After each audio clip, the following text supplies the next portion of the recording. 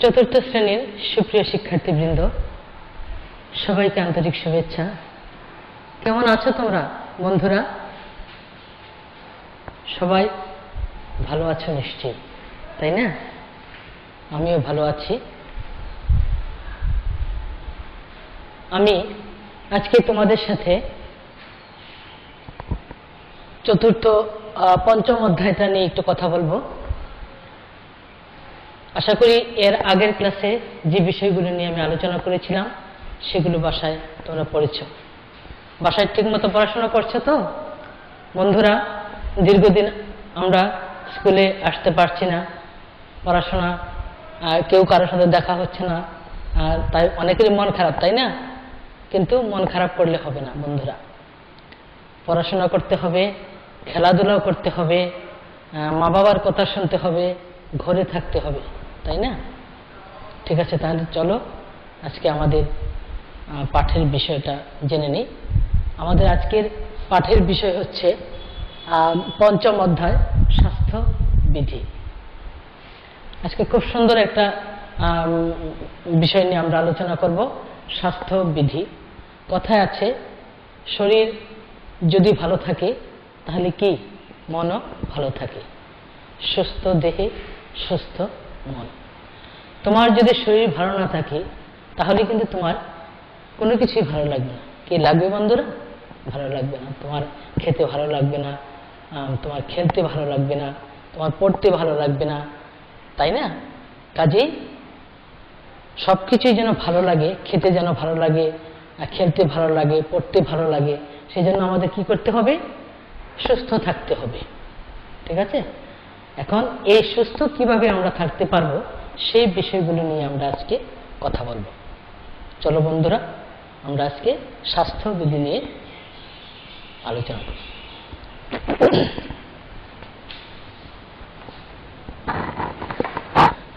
তোমরা বন্ধুরা, তোমাদের পাঠ্য বইটা তোমাদের কাছে নিয়ে বসো। তাহলে আমি যে বিষয়গুলো আলোচনা করব, সেগুলো তোমাদের বুঝতে সুবিধা হবে। আমার আজকের পাঠ হচ্ছে সুস্থ জীবনযাপন সুস্থ জীবনযাপন যদি আমরা করতে যাই, তাহলে আমাদের কি করতে হবে? প্রথমত আমাদের আমরা যে খাবার খাই, সেই খাবারটা সুষম হতে হবে। অর্থাৎ সুষম খাদ্য গ্রহণ। সুষম খাদ্য গ্রহণ। খাবারটা সুষম হতে হবে। সুষম খাদ্য গ্রহণটা কীরকম? সুস্বাস্থ্যের জন্য প্রতিদিনই অবশ্যই সুষম খাদ্য খেতে হবে। প্রত্যেক খাবারই আমাদের শরীরের জন্য কোনো না কোনো পুষ্টি উপাদান পূরণ করে বা সরবরাহ করে। আমরা প্রতিদিন যা খাই, সব খাবারই ভাত, মাছ, মাংস, তারপরে তুমি যদি বিস্কিট, চানাচুর, যাই কিছু বলো না কেন, হুম? সেইগুলো কিন্তু কোনো না কোনো তার মধ্যে পুষ্টি উপাদানটা আছে এবং সেটা আমাদের সেই পুষ্টির চাহিদাটা পূরণ করে। স্বাস্থ্য ভালো রাখার জন্য কি করতে হবে? সুষম খাবারের পাশাপাশি পর্যাপ্ত পরিমাণে নিরাপদ পানি পান করতে হবে। একটা গুরুত্বপূর্ণ বিষয়, এই যে তুমি সুষম খাবার খেলে হ্যাঁ ভাত, মাছ, মাংস তারপরে হচ্ছে বিভিন্ন নুডলস খেলে বিস্কিট খেলে, যাই খেলে, এই প্রত্যেকটা খাবারই কিন্তু তোমার শরীরের জন্য পুষ্টির চাহিদা মেটাবে। কিন্তু তারপরে সবচেয়ে যেটা গুরুত্বপূর্ণ, খাবার খাবে, তারপরে পানিটা যে পান করবে, সেই পানিটা বিশুদ্ধ পানি পান করতে হবে। সুপেয় পানি পান করতে হবে। পানি অপর নাম কিন্তু জীবন। তাই না? আমরা কিন্তু এর আগে এইগুলো আলোচনা করেছি, বন্ধুরা। পানিটার কথা আমি এই জন্যই বারবার গুরুত্ব দিয়ে বলছি যে, বেশি বেশি পানি যদি তুমি খাও, তাহলে তুমি অনেক সুস্থ থাকবে। বুঝতে পেরেছ? কাজে বেশি করে পানি খাবে। এটা খেয়াল করো, আমাদের এই সুষম খাদ্যের পাশাপাশি আমাদের কি করতে হবে? নিরাপদ পানি পান করতে হবে।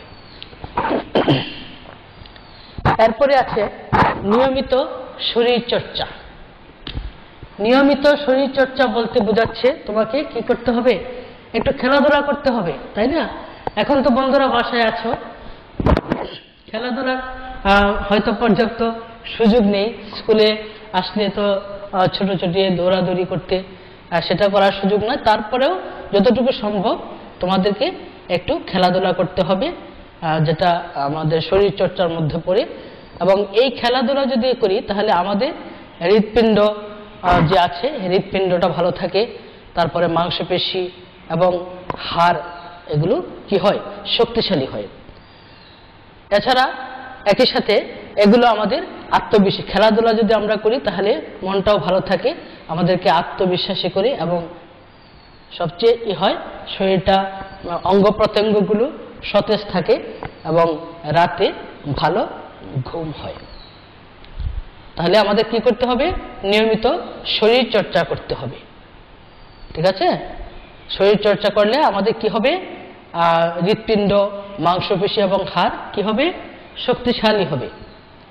এবং একই সাথে এগুলো আমাদের আত্মবিশ্বাসী করে তুলবে এবং রাতে ভালো ঘুম হবে। এরপরে পর্যাপ্ত ঘুম। পর্যাপ্ত ঘুম তোমাদের বলছে এটা শরীরের ক্ষয়পূরণ এবং বৃদ্ধির জন্য পর্যাপ্ত ঘুমের প্রয়োজন। বেশি ঘুমানো সেটাও ভালো না, আবার একেবারে ঘুমালে না, সেটাও কিন্তু স্বাস্থ্যের জন্য ক্ষতিকর। কাজেই তোমাকে পর্যাপ্ত পরিমাণে ঘুমাতে হবে শরীরের, কিসের জন্য? শরীরের ক্ষয়পূরণ এবং বৃদ্ধির জন্য পর্যাপ্ত ঘুমের প্রয়োজন। ভালো ঘুমের জন্য আমাদের প্রতিদিন নির্দিষ্ট সময়ে ঘুমাতে যাওয়া উচিত। একটা নির্দিষ্ট সময়ে তোমাদেরকে ঘুমাতে যেতে হবে। যদি তুমি রাত দশটা ঘুমাতে যাওয়ার তোমার অভ্যাস করো, তাহলে দশটায় ঘুমাতে যাবে। যদি মনে করো যে এগারোটায় ঘুমাবে, তাহলে সে এগারোটায় ঘুমাতে যাওয়ার চেষ্টা করবে। ঠিক আছে? অর্থাৎ একটা নির্দিষ্ট সময় করে নিবে যে এই সময়ে আমি ঘুমাতে যাব এবং এই সময়ে আমি ঘুম থেকে উঠব। তাহলে একটা নিয়মের মধ্যে থাকলে সেটা তোমার স্বাস্থ্যের জন্য কি হবে? ভালো হবে। এবং এরপরটা হচ্ছে বিশ্রাম।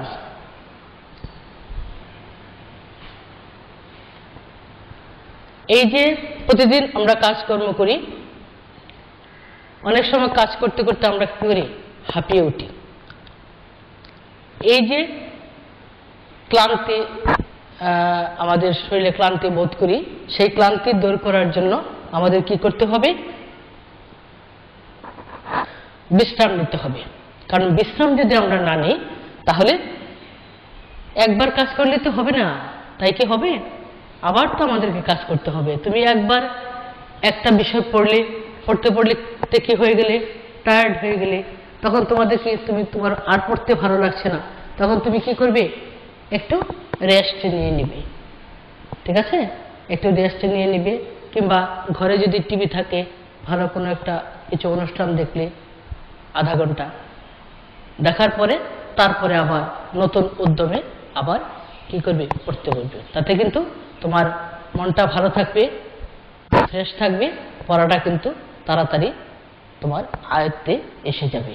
এক টানাভাবে লেখাপড়া হোক, খেলাধুলা হোক, কোনো এক কাজই করা ঠিক না। তোমার মস্তিষ্ককে একটু বিশ্রাম দিতে হবে। শরীরে ক্লান্তি আসলে সেই ক্লান্তিটাকে দূর করতে হবে। কীভাবে দূর করবে? একটু বিশ্রাম নেবে। বিশ্রাম নিয়ে তারপরে ক্লান্তি দূর করলে আবার কি হবে? নতুন উদ্যমে কাজ করতে পারবে। তো বন্ধুরা বিশ্রাম ক্লান্তি দূর করার জন্য, নতুন উদ্যমে কাজ করার জন্য প্রতিদিনই কিছু সময় বিশ্রাম নেওয়া উচিত। কোনো শখের কাজ যেমন পছন্দের গান শুনতে পারো, একটু টিভি দেখতে পারো, একটা অন্য একটা বই পড়তে পারো এগুলো করতে পারো। তারপরে অনেক সময় বাগান করতে পারো ইত্যাদির মাধ্যমে ক্লান্তি দূর করা যায়। তারপরে পাঁচ নম্বরের সর্বশেষ পয়েন্টটা হচ্ছে শরীরের পরিচ্ছন্নতা। শরীরের পরিষ্কার পরিচ্ছন্ন রাখার জন্য শরীরটা আমাদেরকে অবশ্যই পরিষ্কার পরিচ্ছন্ন রাখতে হবে এবং শরীরের প্রতি যত্নবান হতে হবে। ঠিক আছে? এই জন্য কি করতে হবে? প্রতিদিন পরিষ্কার পানি ও সাবান দিয়ে গোসল করতে হবে। এবং প্রতিদিন যদি তুমি গোসল না করো, তোমার শরীর ঘেমে যাবে, শরীর থেকে দুর্গন্ধ বের হবে, তোমার শরীর অসুস্থ হয়ে পড়বে, এটা করা যাবে। প্রতিদিন পরিষ্কার পানি এবং সাবান দিয়ে গোসল করতে হবে। আর খাওয়ার পূর্বে ও পরে পূর্বে মানে কি আগে, খাওয়ার আগে ভালো করে হাত ধুতে হবে এবং খাওয়ার পরে। এখন তো খাওয়ার পরে আর আগে না। এখন আমরা বর্তমানে যে অবস্থার মধ্যে আছি, এখন কিন্তু কিছু আধা ঘণ্টা পর পরই কিন্তু আমাদেরকে হাত ধুতে হবে। ঠিক আছে? আধা ঘণ্টা পর পর সাবান দিয়ে ভালো করে হাত ধুতে হবে। বুঝতে পেরেছ? এটা টিভিতে কিন্তু বারবার দেখাচ্ছে তোমরা ওইটা মনে রাখবে হাত কোনো কিছু ধরলেই সাথে সাথে হাত ধুতে হবে। খাবার আগে তো অবশ্যই। হাত ধুতে হবে। এছাড়াও তুমি ঘরের কোনো জিনিস যদি ধরো কিংবা বাইরে থেকে কোনো কিছু নিয়ে আসছো, সেগুলো যদি তুমি ধরো, তাহলে সাথে সাথে কিন্তু তোমাকে কি করতে হবে? হাত পরিষ্কার করে ধুতে হবে। বন্ধুরা এটা কিন্তু তোমরা খেয়াল রেখো এবং খাওয়ার পূর্বে এবং পরে হাত ধুতে হবে। খাওয়ার পর নিয়মিত ব্রাশ করতে হবে। নিয়মিত ব্রাশ না করলে তোমার মুখে দাঁতের সমস্যা হবে, মুখের দুর্গন্ধ হবে, এগুলো করতে হবে। নিয়মিত জামা কাপড় পরিষ্কার করতে হবে এবং ত্বক যে শরীরের চামড়া আছে, ত্বক, চুল, নখ, চোখ এবং কানে যত্ন নিতে হবে। সুস্থ থাকার জন্য আমাদের প্রত্যেকেরই এই অভ্যাসগুলো প্রত্যেকটা কাজে কিন্তু সমান গুরুত্ব দিয়ে করতে হবে। ঠিক আছে বন্ধুরা?